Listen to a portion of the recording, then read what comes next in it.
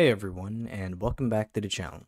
So in today's video, I'll be teaching you guys how to basically upload images or assets to use in Roblox in 2024 when you're going to upload decals or um, design choices for your characters, skins, and so on.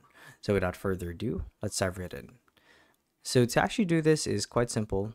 And there are two official ways to do this using the Roblox Studio Launcher or the Roblox um, Studio website or browser site on Google Chrome. Now in this video, I'll be using the Chrome method as it's um, more straightforward on how you actually get to do it.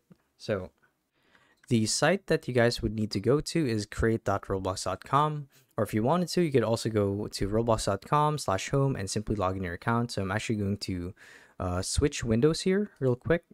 So give me a second. Hold on. So here we are. As you can see, here's what my dashboard looks like for the um, browser sites. And the idea here is you guys would want to click on create found on the top left corner of the screen. So it's this little button right here. And it's going to redirect you to this website where you get to create new assets to your Roblox. So you're going to click on start creating and then um, it's actually going to ask you to open the application, but I'm going to cancel out of that. And load into the actual Creator Hub. So once we're here, you guys would want to navigate to the uh, subcategory or the subtabs for creations. So there's experiences, events, avatar items, and development items.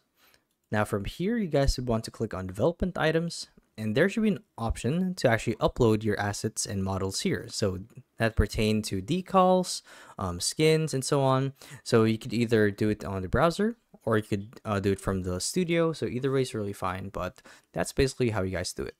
Now here you can have added and um, create your very own skins or add um, tattoos to your character or whatever. And uh, yeah, that's basically it so yeah, that's the video. So hopefully it helped you guys out. And if it did, be sure to let us know down in the comment section below.